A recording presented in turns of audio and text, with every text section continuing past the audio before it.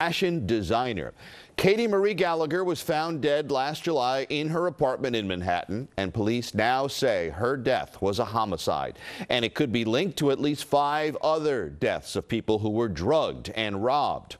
Eyewitness News reporter Darla Miles is on Manhattan's Lower East Side tonight. Darla.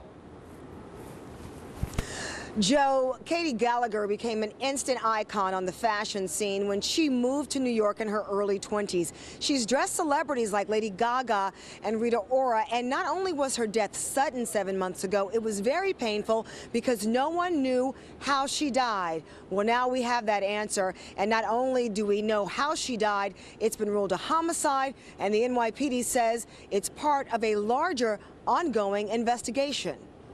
On the second floor of this Lower East Side building, this notice was posted on the apartment door where 35 year old Katie Gallagher lived and was found dead last summer. Seven months later, her death ruled a homicide. Every day she would come by and say hi? Yeah, every day. Every day. Every day saying hi like that.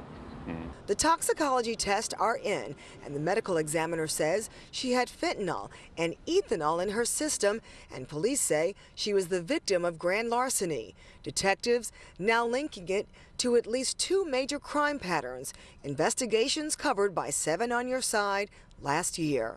They're actually approaching people in the bar, striking up a conversation, and, and offering to do drugs with them. From March 18th to December 8th in 2022, the NYPD investigated 26 similar incidents, and seven people have died. A lot of people cried around here. Mm.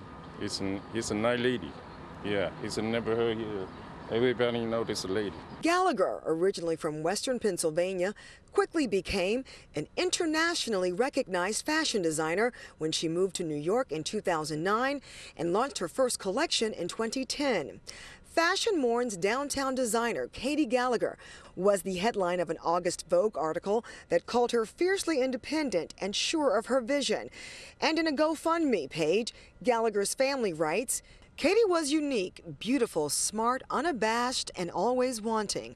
Katie loved telling stories and chose to tell them through fashion.